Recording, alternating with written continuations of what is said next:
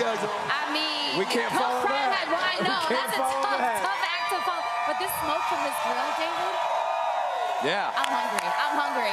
All right, it's time for You Had One Job presented by Geico. You ready? Ready, let's Let's get it. this party started. Okay, so California Golden Bears honoring Marshawn Lynch at their game against Washington. So check this first one out. Oh, look at Marshawn. Just a you see what those are, He's right? You see what those are on the right?